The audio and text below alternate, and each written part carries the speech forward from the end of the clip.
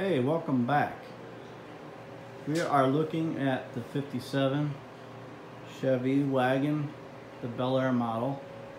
Um, today, I'm going to go through a little bit of the heat heating system and uh, show you the work that has been done to that. Um, so far, so on the 57 Chevy, this has the deluxe heater and right here we're looking at the firewall. This here is the is the uh, air plenum that goes hooks to the firewall. Um, let's see if I can get up here. It attaches with these slides right here. One here, one here. You can usually knock them up with a small a small um, screwdriver and small hammer and then that box will slide out of there. The plenum will slide out of there. Right behind there as you can see the the hose outlets is the heater core. So I have already taken that plenum off. I have replaced the heater core with a new heater core. Um, there's a gasket that goes between the firewall and the plenum so that's good to order that uh, this connects to the blower motor by a rubber gasket as you can see right there. It's just a rubber sleeve that goes that bridges the gap between the two. Here is the blower motor. Now the blower motor is switched off um, on and off uh, via a a resistor on top of the um, air defroster inside the car. There's a, that's where it connects. In here, you can see the, the, let's see if we can get the light down here so you can see it better. So down in here is where the, the blower motor connects to the fresh air vent. Now, on the 57 there are two tubes in the in there. There's a one on the driver's side and one on the passenger side. Um, those two fresh air tubes uh, go straight to the headlight headlight buckets.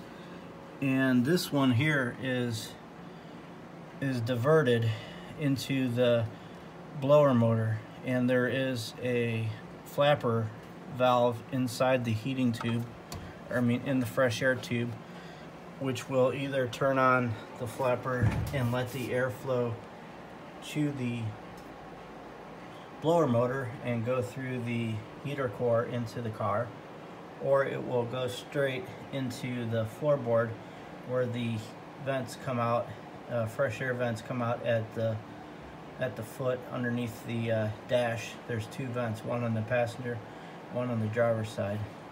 That is those uh, vents are cable controlled. And here's another thing that I had to do on this car. The cables were frozen on this car.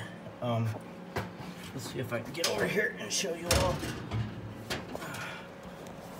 So under here you can see it better than the other side. So there's one of the cables that controls the that controls the fresh air.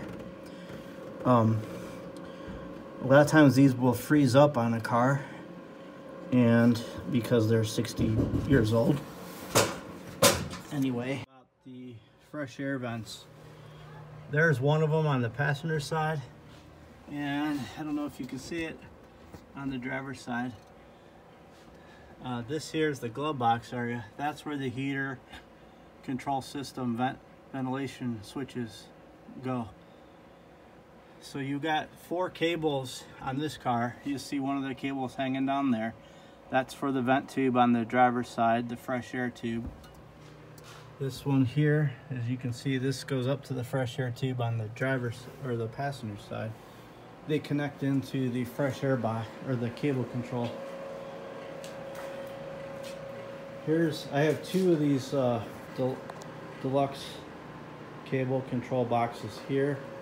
Um, I picked this one up at a swap meet because the the the uh, switches themselves are much nicer than the original here. Um, however, I I put one of the cables on the control box to show you how it works. When you uh, slide that switch down, if you can see that action pulling out the cable, pushing it in.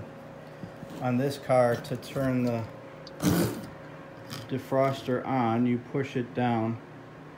Um, you see the leftmost control there is for the driver's air vent. Then you have the control, the next control moving to the right is the heat control valve. Then there's your defroster control, opens and closes the defroster vent. And then the other, the last vent is your inside versus outside air. That closes the, um, that closes the vent like I was talking about before, that fresh air vent, it'll close it off to the fresh air tube and divert air through the um, heater core. Now I put one of these reproduction cables on here. These are very, very nice, by the way. You can only buy them in a set, and I recommend buying them in a set. Here's the original cables, um, frozen. Um, they're they're pretty much bad, gone. I replaced. I'm gonna replace all of them. I haven't yet finished the last two. But here, you'll notice one thing when you buy your reproduction cables is that um, the larger uh, coiled end goes on the control switches. But when you buy the new cables, they have they have uh, multiple coils on each end, not like the originals.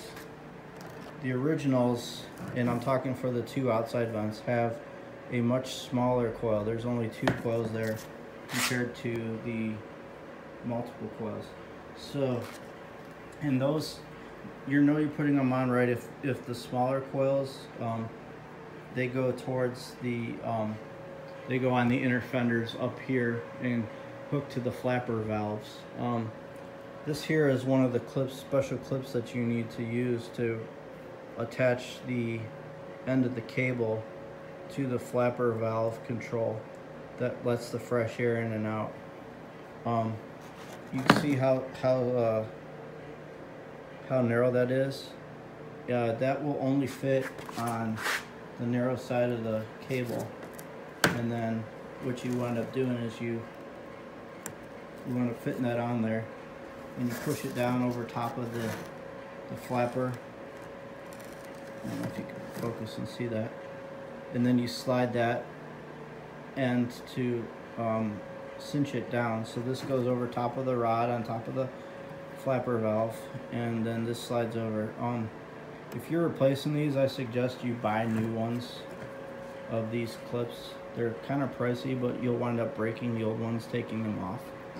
Um, and because the new cables come with a multiple coil, you're going to have to take your wire cutters and trim those so that they will fit that the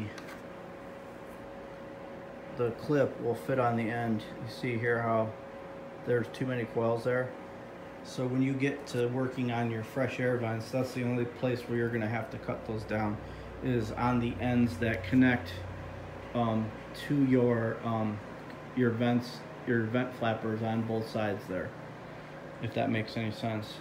Um, we were talking about the heater control valve. So here's an original heater control valve off the uh, 57 here.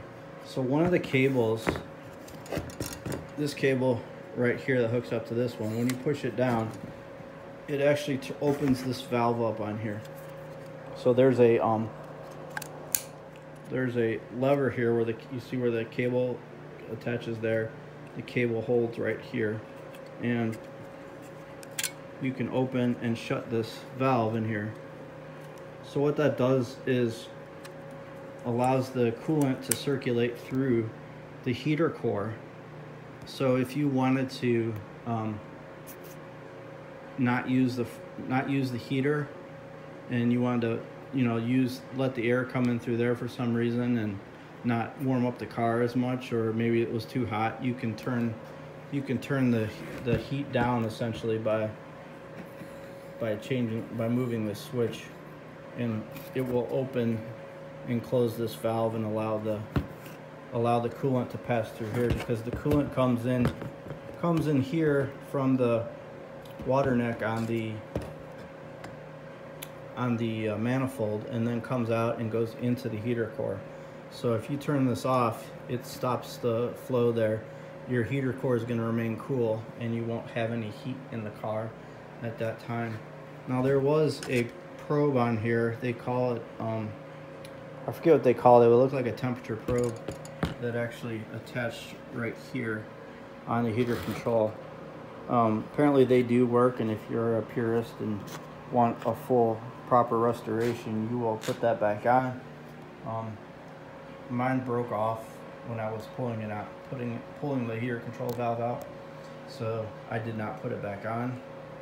But um, anyway, what I'm going to finish doing later is control is put the is put the control box back into the car, hook the cables up here to each one of the different levers. Uh, the cables go through here, you tighten down these holds, and then you can, you know, control your your vents, open them, close them as, as you need. So these, you see I bought a complete new set. Uh, one other thing too is to notice is that these on the end where your control switches are, these look like they could come off and they really could if your cables bind at all. There's a, there's a little um, round shaped uh, disc that goes on here that meant to hold that cable on there. You should probably buy those too if you're going to uh, redo your cable system. So there's another another tip that I would recommend. Um, and also if you're going to redo your heater system and change your core support out and all that, get a gasket kit like I did. So this is, I had an extra one, but you see this one here goes behind the control valve. There's there was a foam gasket that went behind the heater core and then or behind the plenum and then there's another seal between the uh, blower motor and the blower motor fan housing. Um, if you have any questions about the control system, leave a comment down below and I will try to help you. Um, this is my first time working on the system and I think I've got a decent understanding of this system and um, I plan on doing putting everything back together pretty soon and I'll actually show you how how it works afterwards if I can make another video. Thank you.